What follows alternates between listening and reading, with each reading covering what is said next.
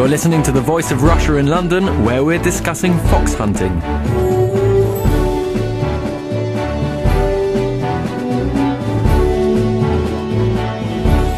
Horse riders brandishing horns, dressed in traditional finery, and accompanied by baying hounds and thousands of supporters.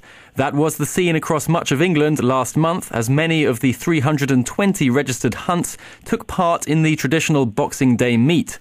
A magnificent countryside sight or a symbol of unjustifiable cruelty to animals, depending on your point of view. A ban on hunting wild animals with dogs came into force in 2005, but animal rights campaigners say there is little enforcement and the law is routinely flouted. Prime Minister David Cameron is a Hunt member and says he is committed to repealing the ban. But a poll last month found more than three quarters of respondents supported the ban, and MPs decided not to vote on ending it in the House of Commons because they thought they would lose. With the public mood apparently so clear, Will hunting with hounds ever become legal again, or is it simply no longer socially acceptable to kill animals for sport? With me in the studio to discuss this are Sian Lovatt, a pro hunt dressage rider and journalist, Jim Barrington, who is welfare consultant to the Countryside Alliance and a former executive director of the League Against Cruel Sports, and Vanessa Hudson, who is leader of the political party Animals Count. And on the phone, we have Sir Gerald Kaufman, a Labour MP and an opponent of fox hunting. So, what's the future for fox hunting? Uh, Sian Lovatt, let's start with you. Okay, uh, I think it needs to continue. The, the ban is absolutely ridiculous. You know, it's been around hundreds of years. It's it's always seen in in the countryside. Banning it is just absolutely ridiculous. Vanessa Hudson. The future for, for fox hunting is it will remain illegal. It's not going to be overturned, and, and the state we're in now will continue. Okay, the state we're in now is not perfect, but I don't see in any way, shape, or form this ban being repealed. Jim Barrington. The Hunting Act is a ridiculous piece of legislation. Most people haven't read it, but they just think it does some good. The fact that so many decent people oppose it, and the fact that it's the hounds that hunt, not the humans, means that it's got to go, but it should be replaced by a genuine animal welfare law which will settle this issue. And uh, Sir Gerald. The issue is settled. We passed an act in Parliament, as you say, and that's that the government, despite the credentials of the Prime Minister and despite faltering efforts to think about repealing it, have realized that there is not a majority in the House of Commons to repeal it, and that's that. Okay, so Jim Barrington, uh, your position is quite interesting because you were uh, against fox hunting and now you've uh, changed your target. Describe how that came about and, and what your position now is.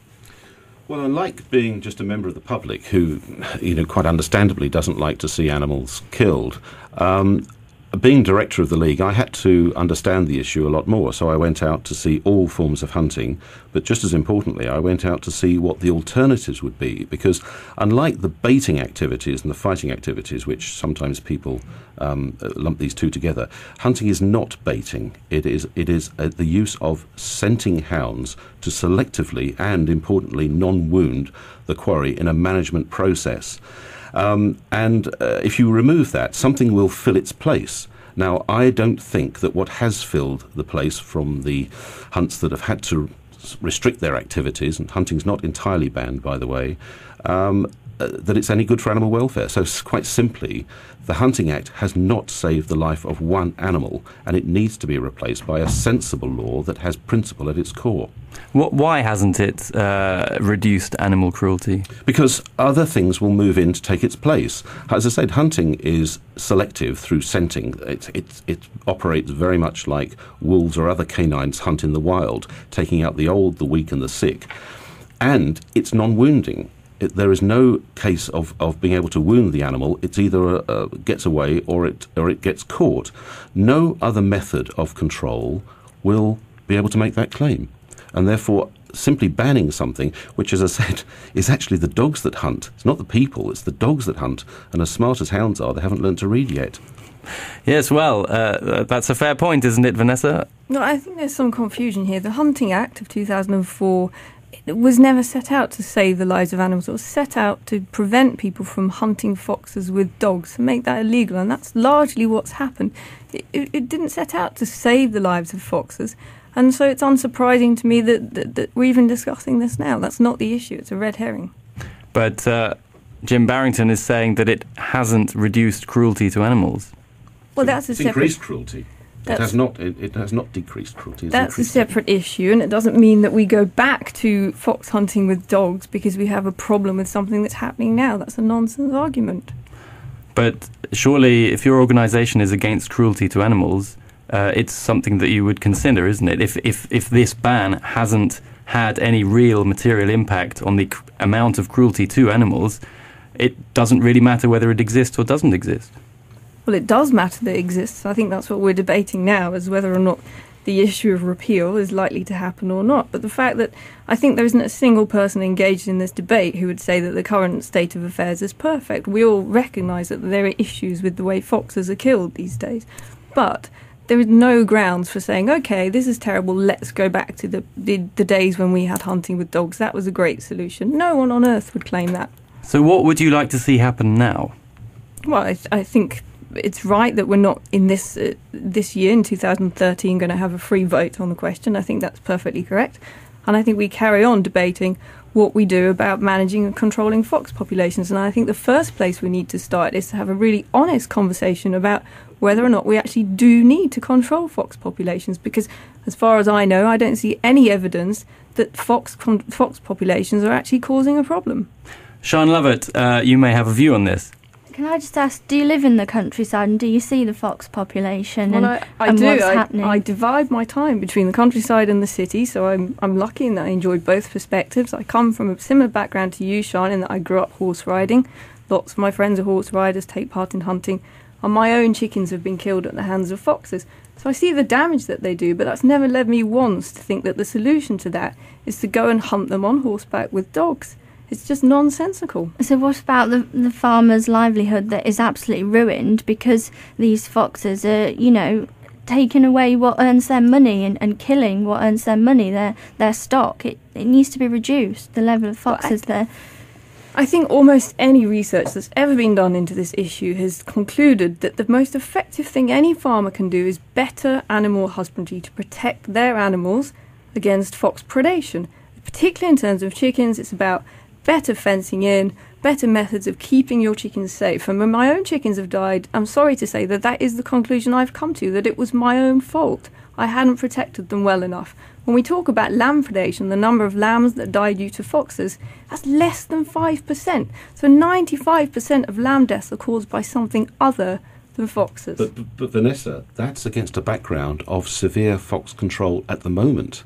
That, that that's basically saying that fox control, as it does is as it happens at the moment, is working because so you're seeing so is, less. So what is your point? My point is that what's happened is that for political reasons, for prejudice reasons, an activity which is selective, which no other method can be, and non-wounding, which no other method can be, has been this banned. Is absolute nonsense. It is not non-wounding.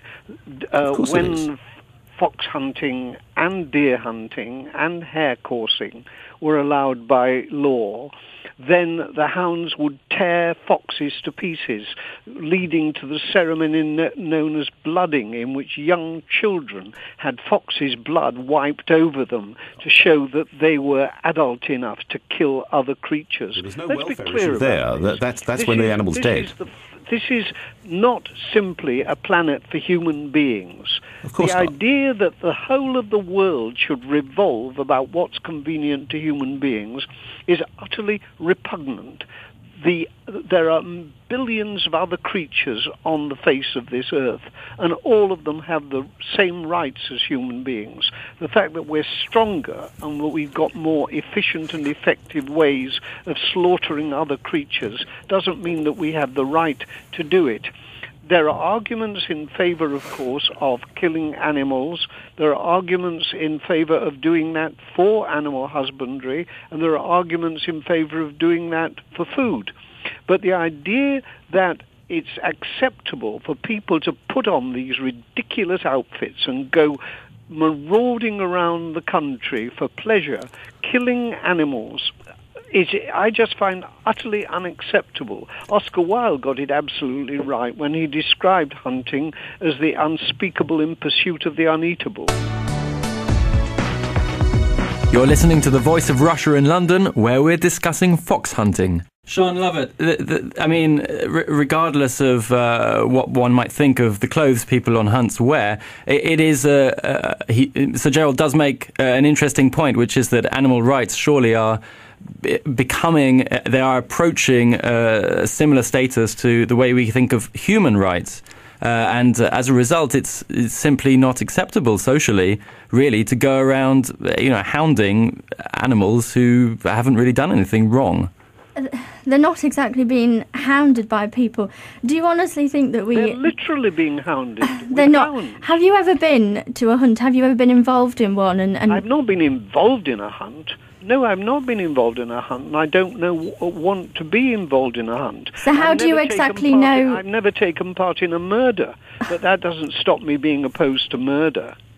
I, I, I would like to ask a question to Vanessa Hudson here. You know, in in the natural world animals routinely rip each other to shreds. That's how nature works. We do think about cruelty and whether our acts are cruel, but we are also part of the natural world. You know, we can't ban other animals, for example. We can't ban a lion from ripping a zebra to shreds. We don't ban cats from catching mice. Why should we ban a few people from, you know, hunting a fox? because well, we, we have banned it. We have with, banned with it already. With the right to control, with the ability to control what they do. Other uh, other creatures are genetically programmed to do certain things. Human beings. Ex- uh, control what they do and they control them in many ways.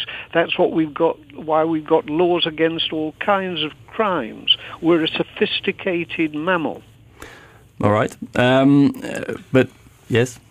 Jim well, Barrington? Uh, uh, we don't seem to be talking much about animals here. We talked, we're talking about humans dressing up, uh, the, the, morality. I, I cannot see that there's anything moral about taking something out and leaving a worse situation. And that is exactly it's what the hunt. worse situation. Oh, absolutely. I'm sorry, Sir Gerald. I'm sorry. It is. Uh, there's been millions of pounds spent on the Hunting Act. Thirty million pounds to get this piece of nonsense onto the statute book. Well worth more, it. Millions of pounds more in from the public purse in prosecuting hunts and failed prosecutions and what have you. Not one penny has been spent on seeing what the effect is on, on animals. It's a fundamental misunderstanding of life in the wild to think that of, of animals in the wild as humans.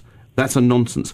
They, ha- for various reasons, will have to be controlled because of their numbers, because of disease, things that do not affect domestic animals. We have to treat them differently. But I would argue very strongly that we should not cause them unnecessary suffering. And that is what your colleague, Lord Donoughue, a Labour peer, has put forward in the House of Lords. There should be a safety net under all these activities hunting, shooting, gamekeeping, farming, or whatever, to say that no one should be allowed to cause unnecessary suffering. And then it would be down to evidence rather than opinion as to how this law is formulated. But how would you define unnecessary suffering? The fact that something is done where there is a better alternative. If I can prove that you, just in the case of domestic animals, we can kill domestic animals, as, as you know. Um, but if I think you've caused unnecessary suffering, that's the legal definition of cruelty. And the same principle should apply to wild mammals. So it's broader, it doesn't just cover the four hunted species that we have at the moment, uh, and it's certainly a case that would, it would be principle and evidence based rather than the fact that just because a certain number of MPs felt that this was uh, good class war material, that uh, we have a law based on that. No, we want a law based on principle, not on prejudice and ignorance. But Jim, the, the, the, the, Burns report. Class war material. Sir Gerald, Sir, Sir, Sir Gerald, if I can just. Labour members of Parliament, Liberal Democrat members of Parliament have all voted in favour of this. Doesn't stop with being ignorant, does it? you, you, can have ignorance in all parties. That you believe that Conservative members of Parliament, as well as Labour and Liberal Democrats, voted for the ban because they were interested in class warfare. You're living oh, in a Sir Gerald, look at the quotes. Look at the quotes that have come out since. I want to bring in Vanessa Hudson here, who who wants to say something. Well, actually, I wanted to pick Jim up on two points there. I mean, one of them was that he said the ban had been a, a waste of, of time, but let's look at the, the statistics. Seventy percent of those people, of those convictions, have been successful. So, uh, so that was incorrect. But also, you well, said can I you, answer that, Vanessa? Because 70% of those convictions are for acts, acts that were basically poaching. There's been a handful of hunts involved. When you talk about the 200 or so successful prosecutions, most, the vast majority of those were for poaching offences which were already illegal. If the fact that it's simply under the Hunting Act does not justify the Hunting Act.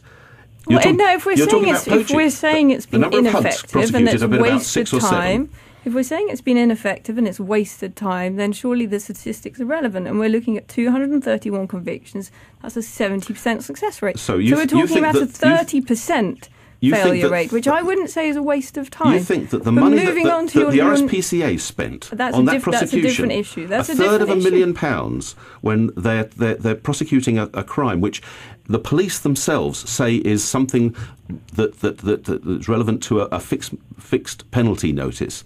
It is that low down. The I- RSPCA, it was a disgrace what they did No, with, I, with I their members' applaud money. the RSPCA. I think they did a wonderful job, and I think they signalled to all those people out there who think that they're in some way above the law that actually they're not. Can I just that's say you applaud them for spending that amount of money on a conviction that it could have gone to lots of other things. I absolutely wholeheartedly applaud the RSPCA. I think they did a great Could- job, could I just- and Tom, many could of I- their supporters are backing them and pledging even more money than before. Can, can I just Yeah, say, yeah, can I just, I agree. A, a notice went out to all MPs just this week from the RSPCA. One page is for live transport, which involves a lot of live animals. Uh, half a page is for pets. A full page is for hunting. Not one question, not one point about the sow stalls, which has been brought in or should have been brought in uh, to prevent sta- sow stalls across the EU. About 14 countries are just ignoring that.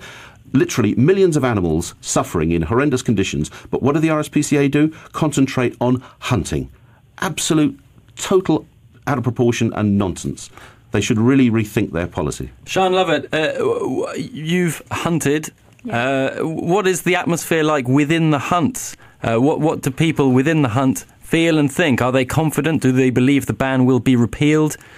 You know, how's it going for them? Of course, we think it will be reappealed. The atmosphere when, when you're there is absolutely fantastic. It's second to none. We're not there thinking, right, we're going to go and kill someone. You know, we're not out there to dress up in something posh and shout tally ho to everyone. We're there to meet with our friends, exercise our horses. We don't think we're killing something. We're not killing an animal. You know, we are all animal lovers, and I think that's what people are forgetting.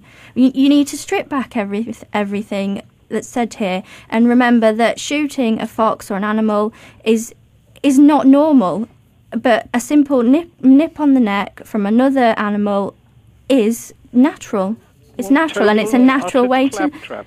I've rarely heard such utter self-regarding rubbish in my life. Of course, you like that because it, uh, because uh, you enjoy it, and but. Lots of things have been taking place in this country, and what we have is a better society, far, far, far from a perfect society, but a better society. And all kinds of people will complain about controls that are exercised for a better society.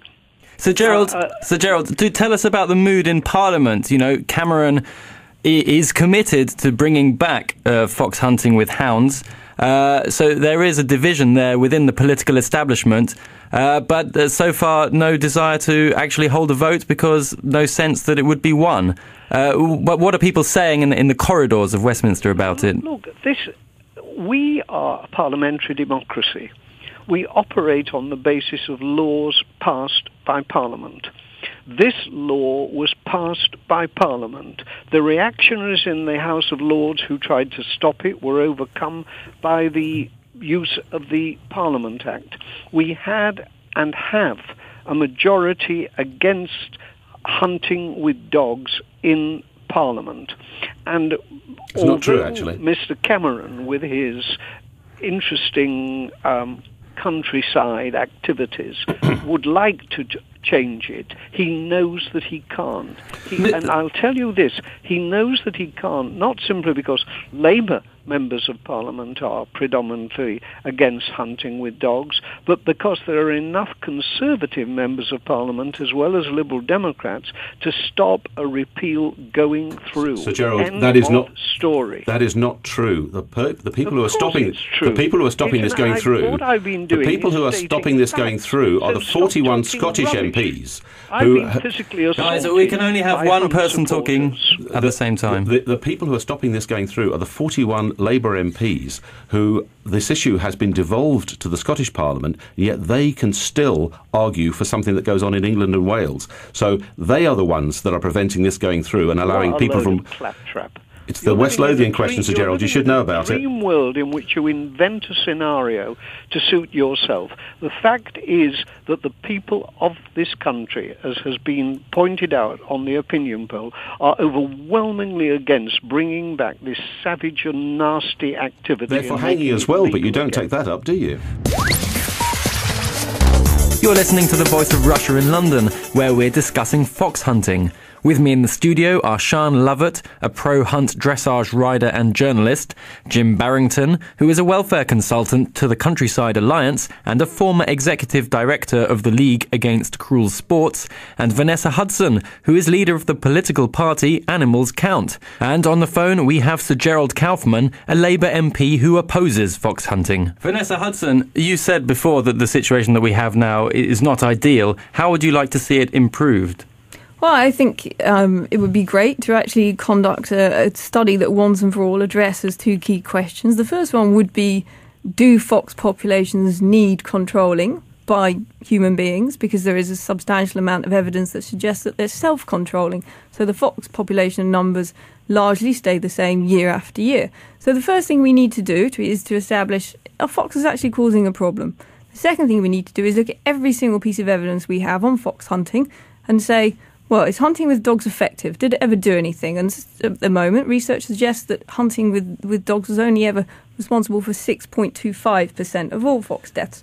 So, as a method of fox population control, it was largely ineffective. Then we need to look at what, you know, if there is a problem with foxes, we need to look at what we can do as human beings to actually take preventative measures. And then, and only then, finally, lastly, if we say foxes are a problem, we can't do anything about this ourselves, then we look at more uh, better methods of killing them, such as lamping.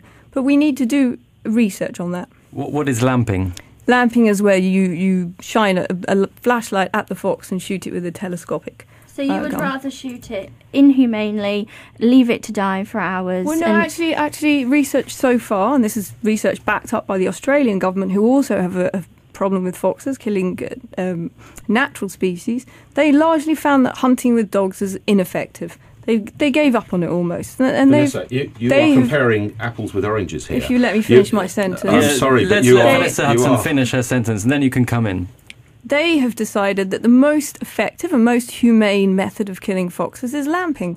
Jim Barrington. That, that is the most ridiculous comparison. Australia is trying to wipe out the fox population. We are not. We're trying to keep it. Management is about not about the numbers you kill. It's about the health of those that you leave alive. That is what hunting does. It is a method of ma- of, of management. I It is think- I not a think we're method of talking control about in the that very regard. specific issue of how you- to humanely kill a fox. And, and to, to guarantee that a fox will die within three, four seconds, which is what the kill actually takes, cannot be applied to any other method at all. The trouble is, this is wrapped up with so much prejudice.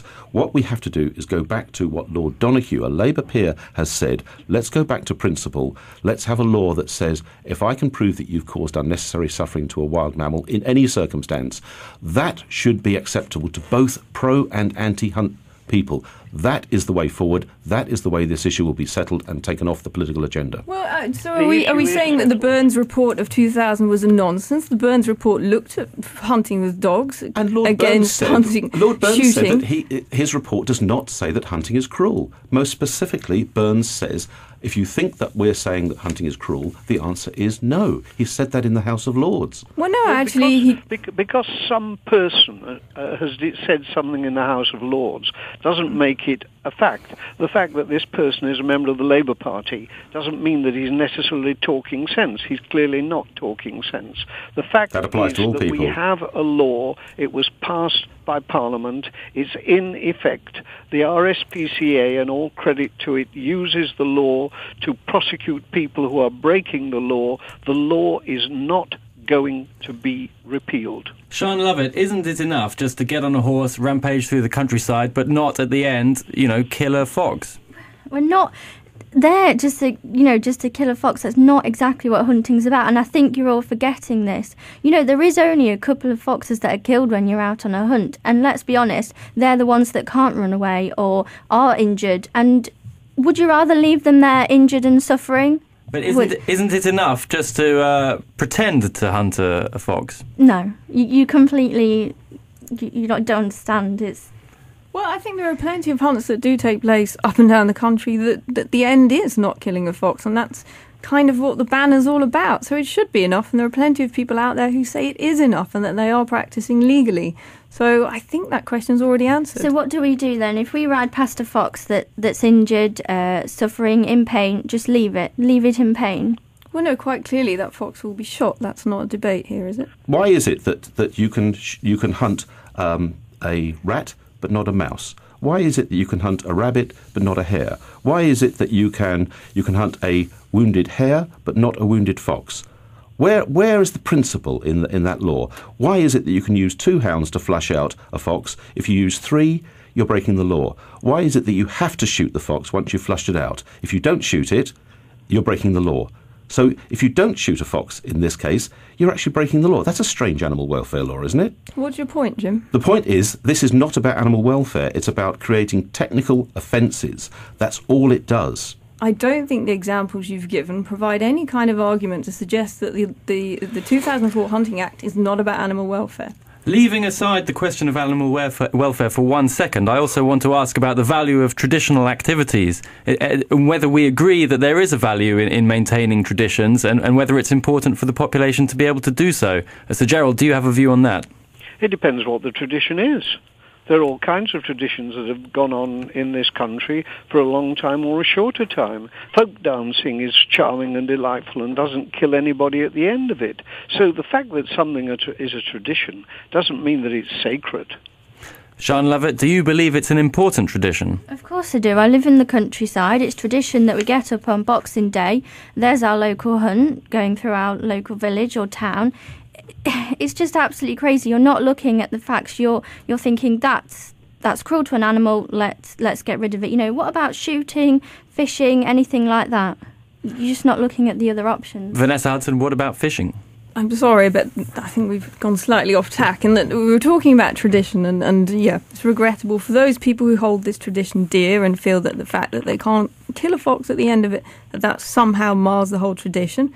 Well, I have some personal sympathy for them, but if we take a step back and think about who we are as a society and the highest expression that we'd like to make about ourselves, and yeah, I completely agree that just because something once happened for a period of time, that is by no means any kind of reason to carry it on. That's a period of nonsense. time, it was it was quite a long time, so I don't think you can just Well, say the, the, the period of time is irrelevant. The fact is, we as a society have decided that it's no longer an appropriate expression of who we are. End of All story. right, that is the end of this story as well because we've run out of time. I'm going to thank my guests who are Sian Lovatt, a pro hunt dressage rider and journalist, Jim Barrington, who is a welfare consultant to the Countryside Alliance and a former executive director of the League Against Cruel Sports, and Vanessa Hudson, who is leader of the political party Animals Count, and on the phone, Sir Gerald Kaufman, a Labour MP and fox hunting opponent.